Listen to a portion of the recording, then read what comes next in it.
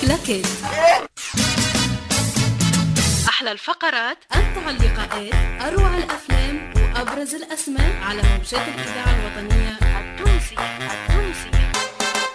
مع كلاكيت السينما تسمعها تحسها وتعيشها. من الأفلام المشاركة في ملتقى سوس الدولي للفيلم القصير إلى جانب الفيلم التونسي صامدون لعربية العباسي ومروان الطرابلسي في الفترة الممتدة من 8 ل 11 ماي 2014 نلقاو الفيلم المصري القصير صورة وبرواز للمخرج الشاب محمد سعدون اللي معنا مباشرة من الإسكندرية. محمد أهلا وسهلا بك على موجات الإذاعة الوطنية التونسية وفي برنامج كلاكيت المخرج محمد سعدون آه، أنت من مواليد الإسكندرية سنة 1989 خريج الأكاديمية العربية للعلوم والتكنولوجيا والنقل البحري درست السينما عن بعد يعني عبر الإنترنت وبدأت في إخراج الأغاني المصورة والإعلانات حتى جاء فيلم انتظار سنة 2011 هذه مقدمة عامة وأكثر تفاصيل تعرف بك للجمهور التونسي معك. أنا سمعت المقدمة. أنا أنا مبسوط جدا إن أكون معكم النهاردة في المداخلة. الرحلة البسيطة دي. وبقدم كل التحية لأهل تونس. محمد سعدون آه، من مواليد اسكندرية زي حضرتك ما قلتي. تمام. أول عمل ليا كان في 2011 كان فيلم آه، اسمه اسمه انتظار. نعم. آه انتظار مدته خمس دقايق. شارك في مهرجان موسكارز الدولي. وبعض بعض المهرجانات المحلية. نعم. آه، ده في 2011 آه، والحمد لله اتذاع على على إحدى القنوات الفضائية. آه، بس ده اللي قبل ده اللي قبل صوره وبرواز نعم. نبقى في فيلم انتظار. هو فيلم صامت. فيلم صامت فعلا. نعم. يدوم خمسة دقائق كما كما قلت. تمام. ويحمل يحمل رؤية فلسفية تفتح المجال للتأويل والتفكير. هو عمل تمام. صعب. وسهل في نفس الوقت. أكثر تفاصيل على قصة الفيلم والانطباع اللي خلاه انتظار في مسيرتك الفنية. آه فيلم انتظار هو فعلا آه، صعب سهل. يعني هو فيلم صامت. آه معتمد فقط على الممثل والصورة والموسيقى. بيتكلم عن حالة الانتظار. من شخص يبقى منتظر حد وفعلا ولما تجيله الحاجة اللي منتظرة آه، يكتشف إن هي إن هي مش ليه يعني. دي دي دي فكرة انتظار. هو مرتبط بتجربة شخصية ليك. فعلا فعلا هي كانت تجربة كانت تجربة شخصية حصلت الموقف كده معايا في اسكندرية. و... وده اللي خلاني أعمل انتظار. ومكنتش متوقع نجاح الفيلم. وإن ده يبقى يفتح لي سوق أو تجارب بعدها.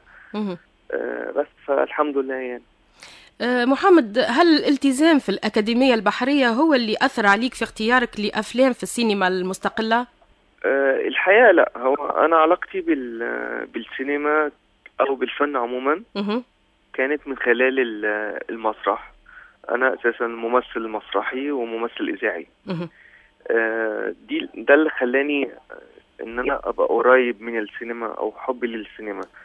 فضلت آه، أخبط كده شوية بالمصري آه، إن أنا آه، في الشغل يعني.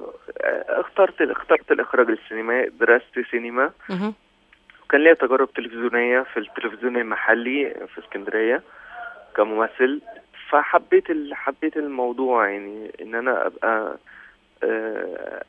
أعرف يعني الأول أعرف إزاي أقف قدام الكاميرا إزاي. درست الإخراج طبعا. فحبيت حبيت موضوع الإخراج جدا. عملت انتظار والحمد لله يعني. أه، تجربة التمثيل في المسرح والإذاعة قبل تجربة الإخراج هل تحضر لدور خاص تحلم به في السينما؟ طبعا طبعا. يعني كمهنة كمهنة المخرج أه، مهنة المخرج بيبقى لازم يبقى عارف كل كل حاجة أو كل مهنة شخص موجود معاه في اللوكيشن لأن هو اللي بيحركه. آه الممثل آه توجيه الممثل شيء مهم جدا. والحمد لله أنا عشان أنا ممثل أساسا. نعم. فتوجيه الممثل ببقى حاسس ببقى حاسس بالممثل قوي عارف أوجهه إزاي.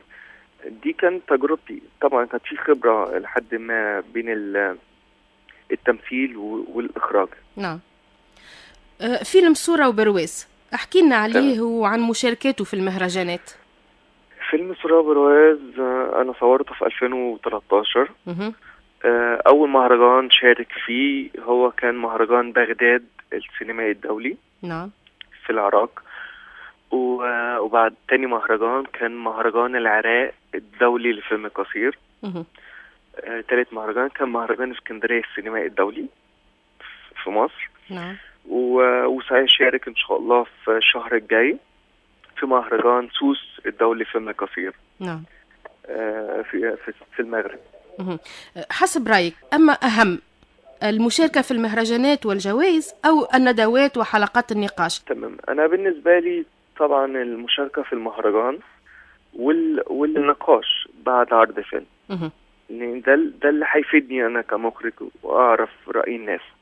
موضوع الجوائز أنا شخصيا مش فارق معايا لأن كل إدارة مهرجان ليها ليها رأي وليها ليها شروط أو هم حاجة تبقى تبقى مخفية مش مش معروفة يعني. نعم. فأنا بالنسبة لي طبعا النقاش وراي الجمهور ده ده أهم شيء. في نفس الإطار ما هو رأيك في الورشات السينمائية؟ حاليا يعني في في أفلام طبعا كويسة كأفلام مستقلة. نعم. افلام أفلام جيدة جدا. بتدخل مهرجانات بتاخد جوائز مصرية وعربية. آه أنا شايف إن هي السينما المستقلة هي هي اللي جاية. يعني هي هي القادمة. يعني هي السينما بدون نجم. نعم. دي دي دي اللي جاية. يعني لكن السينما المصرية تدلل الأفلام الروائية الطويلة على حساب الأفلام القصيرة. فعلا. آه عندنا تقصير جامد آه في مصر. من خلال آه ال آه يعني ما فيش مهرجانات سينمائية للأفلام القصيرة. هو المهرجانات حتى المهرجانات الموجودة هي مهرجانات خاصة. مش مهرجانات الدولة هي اللي بت هي اللي بتدعم. عدد صغير جدا طبعا. عكس مثلا عكس عكس المغرب إن هي كل كل بلدية ليها مهرجان. واثنين وثلاثة. نعم. فطبعا في أفلام الطويلة عندنا هنا اللي هي فيلم فيلم النجم. دي مهتمين بها طبعا و... ولها دور عرض وبتاع. إحنا بندعم إن شاء الله والأفلام المستقلة والقصيرة والأفلام الطويلة. و... وبنسعى إن هي تتعرض في ال... في الأفلام تتعرض في سوري تتعرض في الدور العرض. في أفلامك محمد سعدون تركز أكثر على ضبط وإتقان الصورة من خلال الضوء والحركة على حساب الصوت. هل تعتبر أن الصوت ليه دور ثانوي في سيناريو الأفلام؟ طبعا لا هي مش ثانوي. أنا بالنسبة لي هي طبعا الصورة وال وال والشخصية. إن أنا أنا الفيلمين الفيلمين اللي فاتوا أنا عندي أنا عندي شخصيتين ما حدش اتكلم فيهم قبل كده. هي أنا بعرض الشخصية للناس. طبعا الصوت شيء مهم جدا بس مش الكلام. يعني طبعا الصوت ده اللي هو موسيقى و... والأصوات الطبيعية. الكلام أنا طبعا مش مش معاه كتير. يعني هو ان أنا إن الممثل يتكلم كتير كل حاجة وتبقى الصورة ضعيفة. لا أنا طبعا أنا أنا ضد ده تمام؟ ومع الصورة وتكوين الصورة طبعا والممثل الممثل reaction reaction وشه حياته. طبعا دي ده شيء أساسي يعني. أنت كيف ترى مستقبل السينما في هوليود الشرق حسب رأيك؟ السينما في مصر أنا شايفها في أو في تخبط دلوقتي. والتخبط ده هيبقى شيء آه شيء إيجابي إن شاء الله. آه السينما هتتعدل في مصر. آه مع ان ترجع ترجع تاني مصر أو الحكومة المصرية إن هي تنتج. من خلال جهاز السينما من خلال من خلال مدينة الإنتاج الاعلامي آه من خلال استوديو مصري زي زمان. آه دي دي اللي خلي هتخلي السينما السينما فيها هيبقى فيها تقدم إن شاء الله. ومع الاهتمام بالسينما المستقلة وسينما سينما اللي مش اللي ما فيهاش نجم يعني. أو إن هي الشبابيه التجارب الشبابيه لكن السينما بدون نجم كما أنت تقول يعني هل لها انتشار على المستوى العربي في في التوزيع والتسويق؟ إحنا طبعا إن هو الموضوع برضو إن النجومية طبعا هي اللي بتجيب التذاكر. أنا ما أقدرش ما أقدرش أنكر ده يعني. لكن ما تبقاش كل الأفلام اللي موجودة في دور العرض هي تيمة واحدة. أنا ضد ده برضو إن يبقى في في دور العرض فيلم في أغاني شعبية زي اللي موجودة دلوقتي في مصر. آه وفي فيلمين تانيين فيلمين آه كويسين أو فيلمين ليهم آه ليهم تجارب ثقافية أو أو أو أو بتحمل فكرة حم فكرة يعني. آه بس يبقى في دور عرض كل الأفلام نوع واحد دي صعبة طبعا. نعم. تحضيراتك لفيلم سكر ولاد وين وصلت؟ سكر ولاد إن شاء الله أنا هصوره قريب جدا. هصوره في في اسكندرية. نعم. هو بيتكلم عن عن عن حلم طفولة.